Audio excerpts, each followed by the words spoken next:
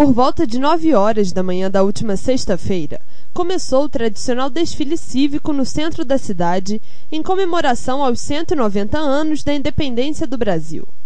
O evento foi aberto com a execução do hino nacional pela banda do 32º Batalhão de Infantaria Motorizado e com o hasteamento das bandeiras do Brasil, Rio de Janeiro e Petrópolis desfilaram por toda a Rua do Imperador mais de dez escolas municipais, estaduais e particulares.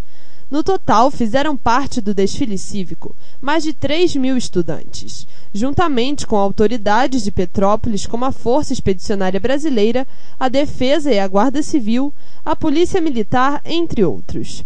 O evento foi prestigiado por cerca de 10 mil pessoas e este ano teve como tema Quem pensa que é feliz em outra terra é porque ainda não viveu aqui, uma parte do hino da cidade de Petrópolis. Estavam presentes também o vice-prefeito, secretários municipais e autoridades civis e militares.